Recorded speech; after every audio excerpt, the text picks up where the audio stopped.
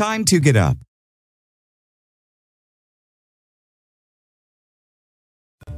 Jairus, a leader of the synagogue, fell at Jesus' feet. My little girl is dying, he cried. If you lay your hands on her, I know that she will live.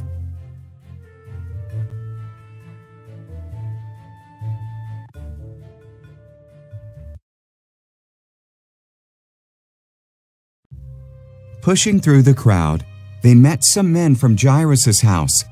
Your daughter is already dead, they said. Don't be afraid, said Jesus. Believe, and your daughter will be healed.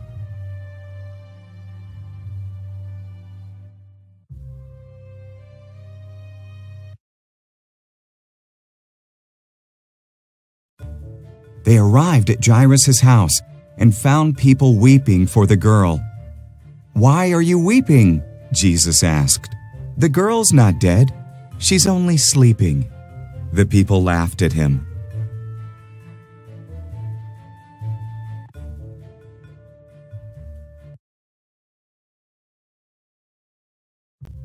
Jesus and three of his disciples, Peter, James, and John, went into the house with Jairus and his wife.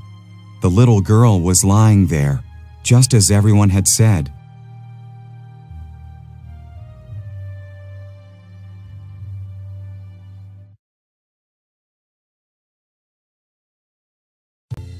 Jesus took her hand. Then he said, Stand up, little girl. And she did. She even walked around the room.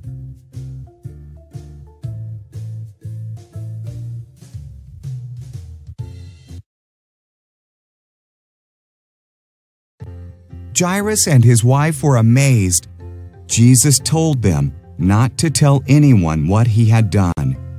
Now, said Jesus, I think this girl needs something to eat.